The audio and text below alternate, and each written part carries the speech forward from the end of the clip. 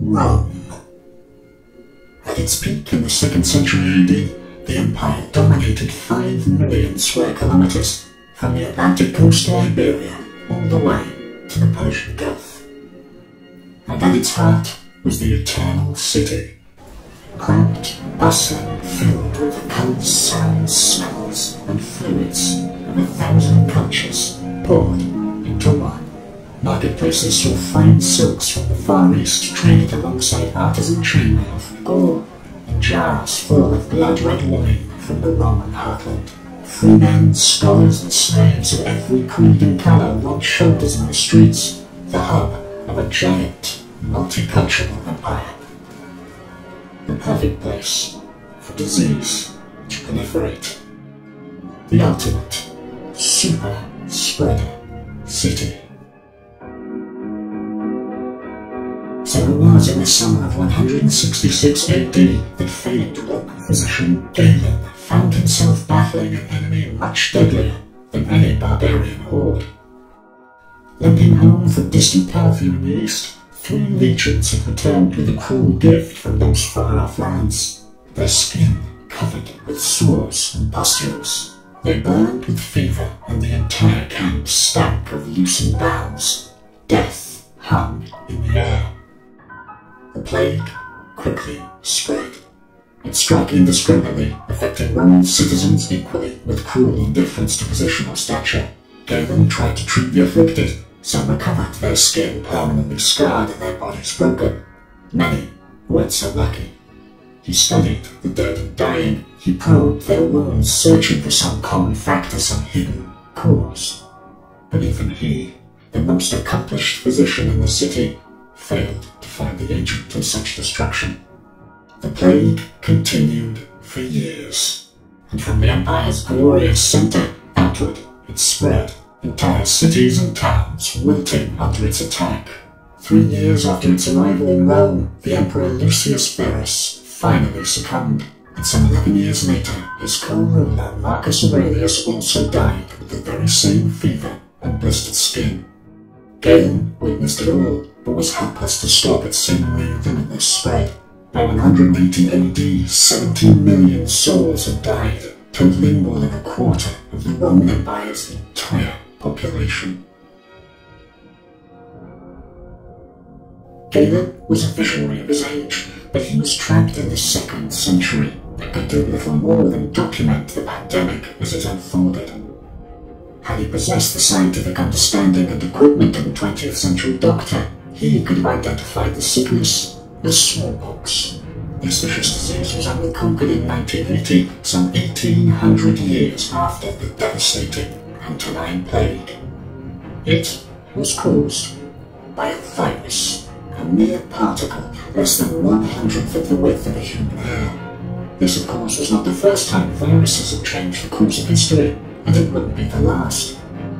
Had Galen possessed the understanding of our 21st century scientists, could have peered into the genes of his fellow citizens to see the legacy of viruses written into our very DNA. For what Galen did not know, what he could not have known, was that his Parthian gift had been evolving hand in hand with the life it ravaged for billions of years.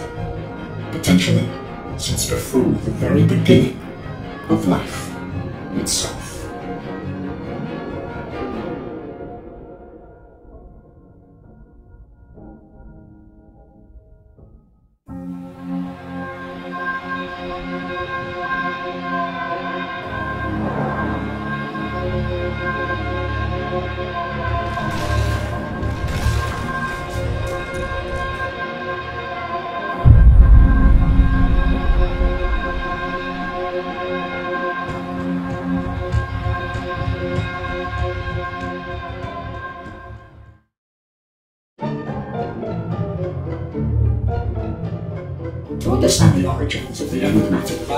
viruses Galen battled 1800 years ago, we must first unravel what exactly his silent enemy was. And the first to even get close to this mystery was the Russian botanist Dmitry Ivanovsky. At the time, a plague disease was threatening one of the most valuable luxury exports of North and South America, tobacco plants. In an effort to find the cause, Dmitri had taken the leaves of diseased plants and crushed them, reducing them to a liquid extract. He then passed this extract through a solid porcelain filter with pores so small that even the smallest known bacterium couldn't squeeze through. But to surprise, this processed, filtered extract still had undiminished potential to infect new tobacco plants. Whatever was causing the tobacco mosaic disease, it was smaller than bacteria. What on earth could be so small, they thought, and still contain the essence of such coordinated destruction?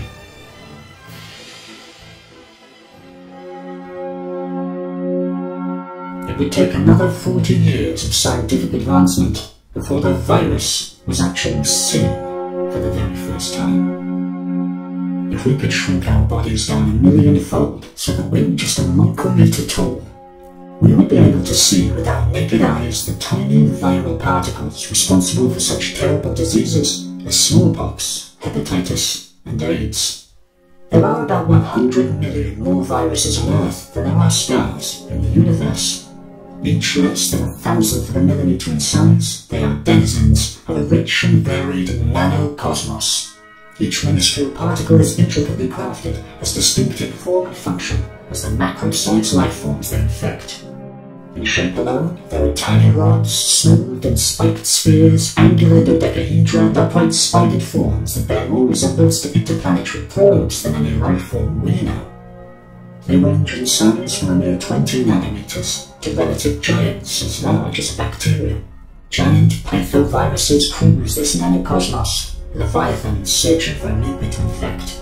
Ebola is a grotesque, knotted snake, locked in a permanent rictus of torture, while tiny bacteriophages seem the most complex of all, with features that resemble legs, a head, and a deadly injecting syringe. Within these alien structures are genetic molecules, similar in construction to our own double-stranded DNA or single-stranded RNA, but shorter, simpler, more naked and exposed. These are like the cells that make up the bodies of every living thing on Earth. They are little more than a hard protein shell around a fragment of DNA, and each one is unique, containing its own assortment of genes that tailor it to a particular host, whether human, animal, plant, or microbe. A virus floating free from the air is a and a virus unsuited to our body's chemistry is harmless. Only when a viral particle encounters its preferred host will it spring into action. With compatible chemistry, it will be able to insert its genetic molecule fragment into an originating cell to hijack its living processes to reproduce itself. Some use the protein machine suspended in the cell's cytoplasm to blindly reprint the virus's genes for packaging and shipment back out of the cell. But others are more tenacious. These so-called retroviruses insert their DNA fragment directly into the DNA of their host. In reality, the viral nanocosmos is made visible only with the most cutting-edge technology, and modern scientists are still working to understand how these seemingly simple agents can bring about such suffering, and how that can be conquered. So, we have seen the enemy, the first step to understanding its origins. But even now, a fundamental question remains unanswered. What is a virus? And are they even alive? Answering this question calls into doubt our understanding of what separates life from non-life on Earth and elsewhere in the cosmos. Classic definitions are taught in schools that living things all have the independent ability to move, grow, reproduce, sense their surroundings, seek nutrients, extract energy from them, and excrete waste. By this scheme, viruses are certainly not alive. They do not grow, they don't have any metabolic processes, and they are utterly reliant on a host for reproduction. They are parasites, as lifeless as dust, without the spark of life stolen from other living things. There are, of course, exceptions though. As always. In England in 1992, a new kind of microbe was found in a cooling tower. For 10 years, scientists thought it was a kind of bacteria because of its large size. But high-resolution imaging revealed that it was, in fact, a virus of unprecedented size and complexity. A leviathan floating amongst the nurse nearly ten times as large as its cousins. They named it mimivirus because it mimicked living bacteria so closely. These mimiviruses contained more than just a DNA fragment, they also had enzymes and other machinery inside their shells. Not quite enough for independent living, but much more than we had previously thought inert viruses capable of processing. Although the vast majority of viruses may not be classically alive, they are still undoubtedly of life. The fact that they have the same genetic molecule and the same biochemistry that makes them seamlessly compatible with living cells must elevate them above the inanimate world, even if they don't fully deserve a place in the animate one. Some scientists have suggested that we revise our classification of life purely to include these potent organic nanoparticles. Perhaps they deserve their own branch on the tree of life, at the base next to the origin of the domains of bacteria and eukaryotes. But one thing is clear. To understand the virus's place among life on Earth, we need to try and trace their history through geological time. To know what they are, we have to understand how and when they began, and finding the unimaginably small among the unimaginably ancient is a problem modern scientists are only just beginning to tackle. And the solution may not lie in the rocks beneath our feet, but within our very DNA.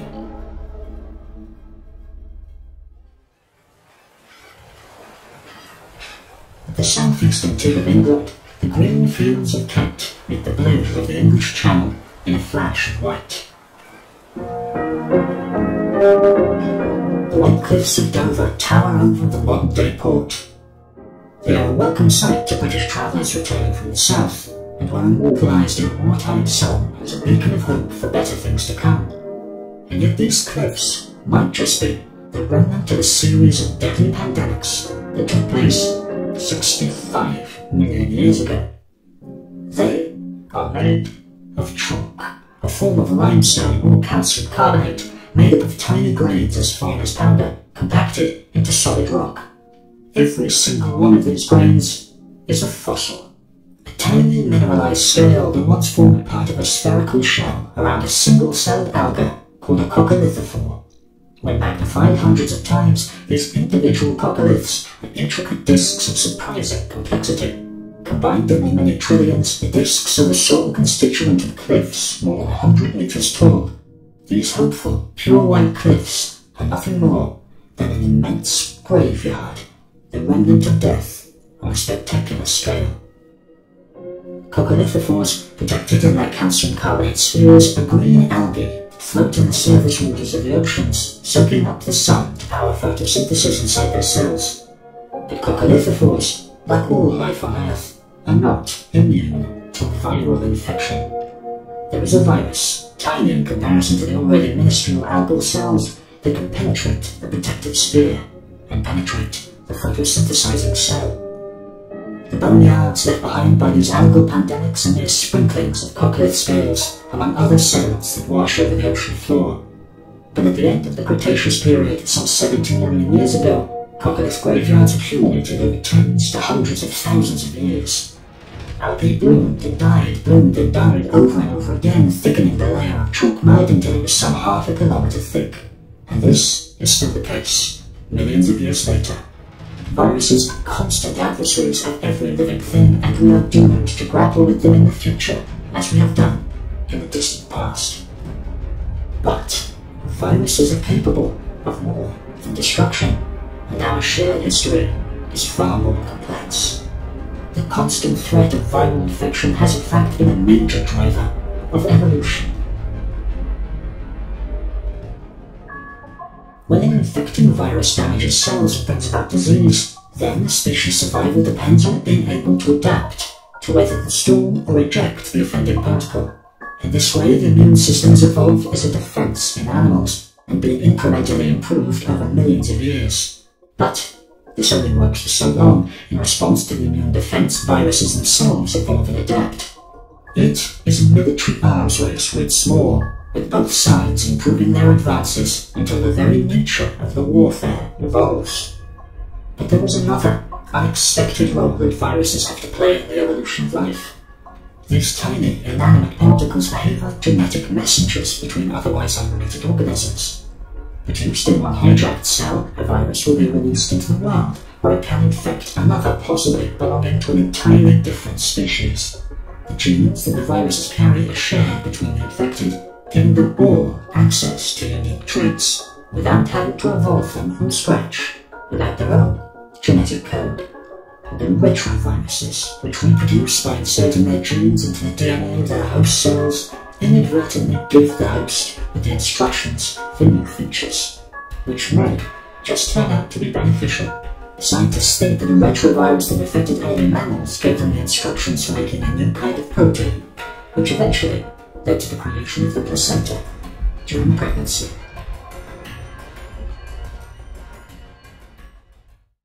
In 1990, the The human Genome Project was outrageous and ambitious effort by scientists all over the world to read the Encyclopedia of Human DNA.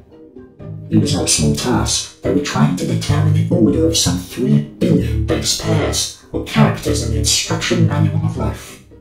Had these been written on actual pages, they would have filled several hundred volumes. But just 13 years after it began, after revolutions in genetic techniques and computing analysis, the Human Genome Project is complete. But the work was only just beginning. Although they now had the ordered characters of DNA in hand, it would take another international and multidisciplinary effort to interpret what these characters meant. The results trickled in over the early years of the 21st century. One of the most shocking revelations was that just a tiny fraction, 4% of DNA actually corresponded to the genes that determine our features. The rest was something of a mystery. For a long time termed junk DNA, now I think a lot of it controls when the gene is turned on or off. Recently, cutting-edge science has revealed that some 8% of the total originated in viruses.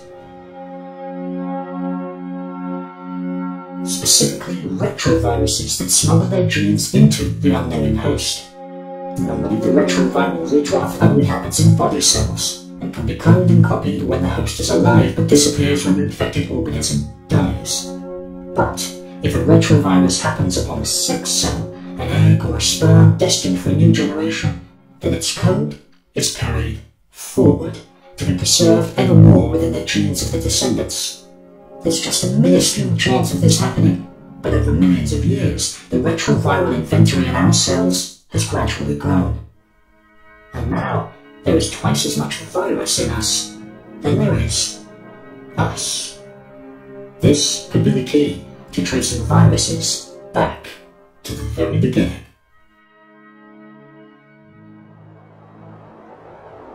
Paleontologists probe ancient rocks for the fossil remnants of living things, and microfossils of tiny bacteria have been found dating to some 3.5 billion years ago. But there is no prospect of finding viral fossils preserved in rocks. It is hard enough for viruses to be isolated and imaged accurately in modern samples, let alone those crushed and cooked inside rocks, ravaged by time. So, searching for viral fossils becomes a subject instead for geneticists who compare through time the molecules of life. By sequencing the genomes of humans, animals, plants, and bacteria, geneticists can trace the history of viral infections through time. If a viral sequence is shared by an entire group, then it's likely that the group's ancestor was the one who was infected first. Recently, a group of scientists identified a molecular fossil in our genome that was also shared by about 25 other mammals, including aardvarks, marmosets, and bats. But this viral fossil seemed to be randomly scattered among the different types of mammals. It was as notable in its absence as in its presence. This told an intriguing story of not one ancient infection, but of many. A series of viral epidemics that cross species back and forth, infecting unsuspecting animals for some 15 million years. Although we don't know for sure what the virus did to these animals, what is certain is that its genes are now forever part of our story, just as viral genes seem to have been a part of the story of life. Perhaps since life itself has been around, and their origins are as indistinct as the origin of life. So, in search of the first virus, it helps to try and consider how viruses came to be. How can something obtain some of the features of life, but never all of them?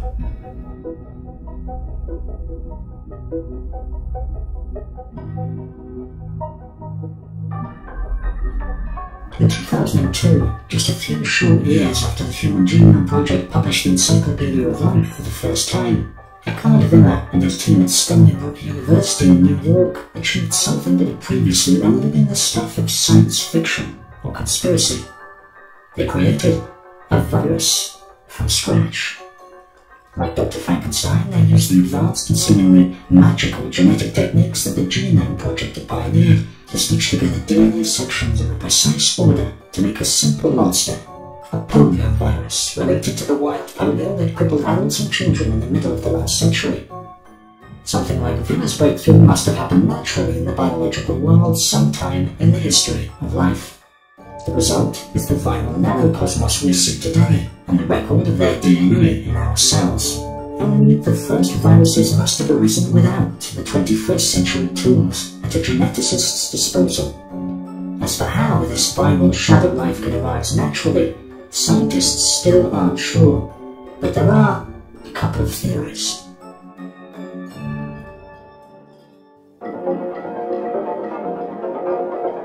First is a progressive virus evolution. There's a strange phenomenon in most eukaryotic cells in which small sections of genes can move, jumping from one area in the genome to another. It is as if the first page in a book could occasionally jump from the beginning to the end to somewhere in the middle. If these sections of DNA acquired the ability to move in and out of the cell too, with the help of a little protein protection, then they would have the same transmission qualities of a virus. Moving between the pages of a single book, these progressive genome fragments could choose any location in an entire library. This explanation best fits the characteristics of retroviruses, which have this compatibility with their host genomes and the unique ability to rewrite their DNA. But not all viruses work in this way. A second possible theory is one of regression, where living cells gradually lose their metabolic machinery, leaving only the basic genes be passed on to future generations. By dispensing with their intercellular proteins, the regressive cell loses its independence. It must rely on another life form to supply the energy and processing power for reproduction. It becomes a parasite.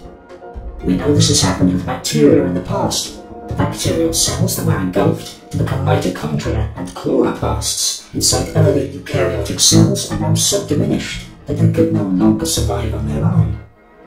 Could this have been the root of viruses too? Looking at the giant nanoviruses with basic proteins alongside the genetic molecule, it is easy to imagine them as having once been alive and independent. The scant evidence left within most viruses means there's little else to decide between progressive and regressive origin. Perhaps they are both correct, with different types of viruses arising independently in different ways throughout history. But there is another intriguing possibility.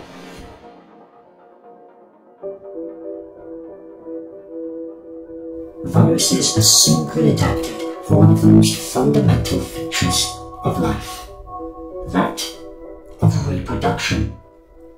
And we know that the very first cells, which originated in the Archean oceans some three and a half billion years ago, must have been capable of this too. Even before the first cells, there must have been a genetic molecule capable of storing and replicating genetic information for future generations in the iterative evolution of biological metabolism. A replicating molecule without a biological metabolism was probably one of the earliest steps in the evolution of life, for non-life. And today we find replicating molecules without a biological metabolism all around us. In viruses. In theories of the origin of life, a single-stranded genetic RNA molecule could have acted as its own replication machinery. It is no great leap to imagine single-stranded RNA viruses behaving the same way in the absence of living cells to hijack. And so, in this virus first hypothesis, the viruses didn't break free of life or regress for more advanced living cells, but preceded life itself. They could have been a vital step in the origin of all life on Earth. Once true life as we understand it surrounded itself with a cell and built a self-sustaining metabolism, then the viral branch, on the tree of life, diverged. The earliest viruses themselves evolved, building protective protein shells and devising more efficient ways of replicating themselves, using machinery borrowed from the other branch of life. In this way, true life and the viral shadow life were destined to be eternally intertwined. Viruses there before the first cells, and then alongside the first cells, ready to hijack and infect. It's an enticing theory, but we might never know for certain. An unimaginable gulf of time lies between modern nanocosmos and the earliest virus. But the clues that we can find, from Galen's view of the unstoppable Roman plague geneticist's viral fossils written into our very DNA, suggest that viral infection is, and perhaps always has been, a fundamental part of life on Earth.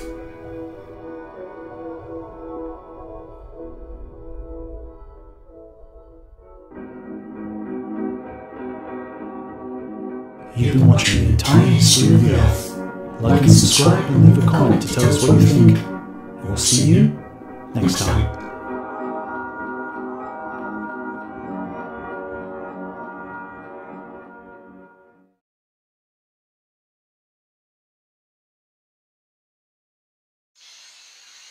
I like this. It's very grown up.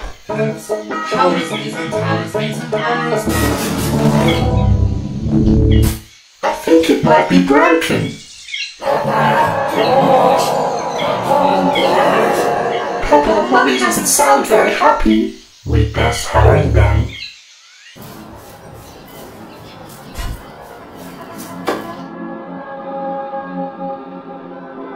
Peppa, George, I'm not sure how to tell you this, but Grandpa Ben has passed away. What? What happened? We're still not sure. He got into an altercation with Granny Pig, and she was only defending herself. What's an altercation? okay, but what were they arguing about? Apparently it was over nothing. He just got very angry. Daddy, what are you doing? Let go. Let go of me.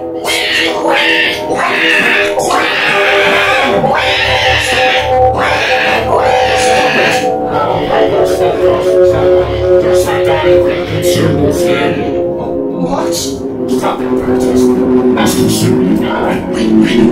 What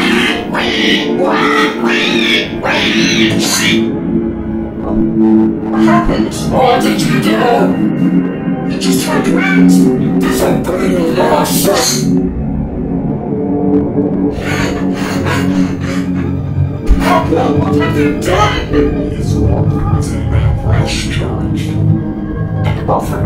To be made. This isn't true, Papa. George, I don't know what's happening. We need to leave. I'm not going anywhere with you. We're not safe here. I need you to trust me. Okay. I trust you.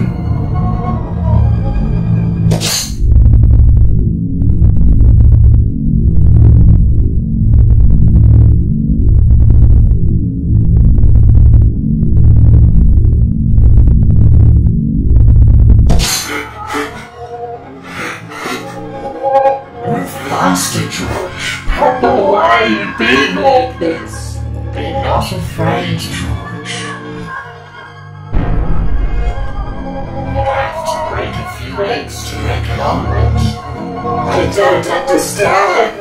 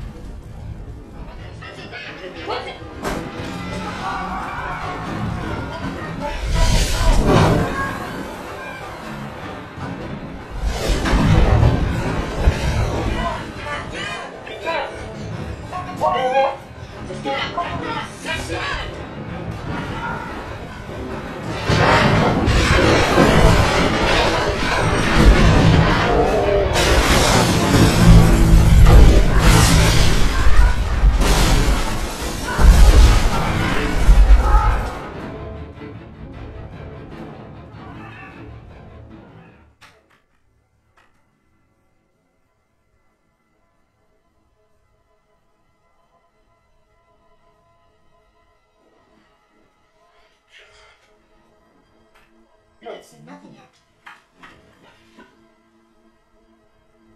I said it strong. Was right in the middle of one of those. I don't see it like this. Those machines come up from under the ground, right? So that means they must have been buried here a long time ago.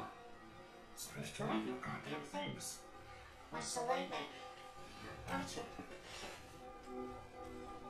What's the lightning? Keep watching the lightning.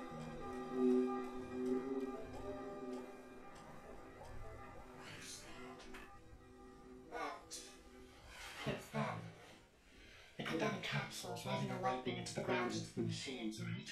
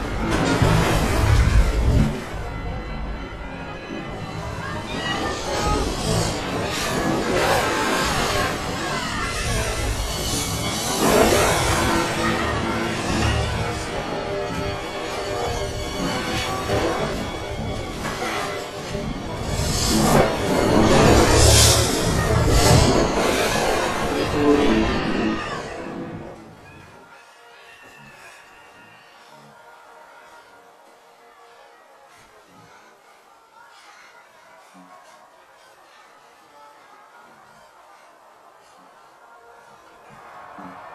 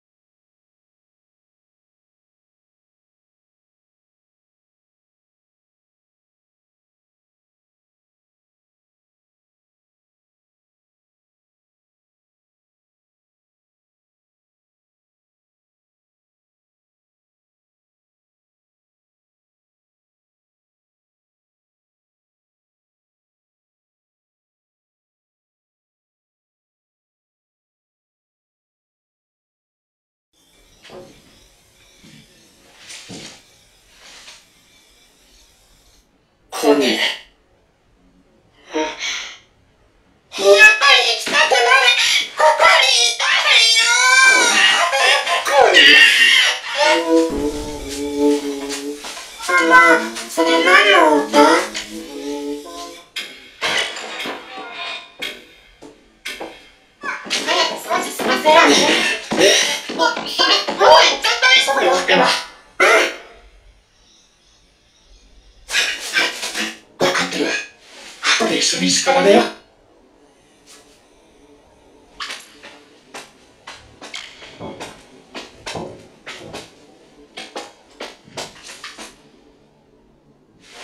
イが持っていく車かな。